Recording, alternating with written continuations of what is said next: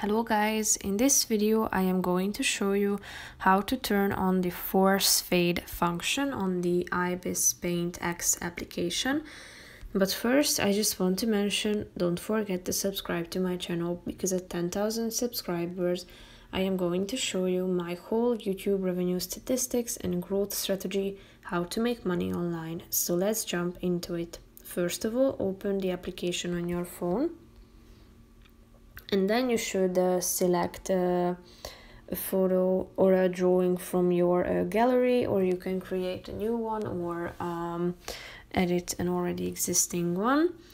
So if you would like to turn on the uh, force fade function all you have to do is clicking on this uh, um, icon at the top of the screen indicated by this um, hand this uh, pointing finger um, image. And then as you can see the second section is the force fade uh, option. So tap on this button in order to turn on this function.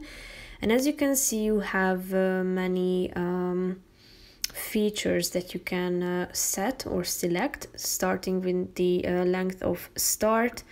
So you can use this scale in order to set the uh, the um, appropriate percentage for you as well as the length of end.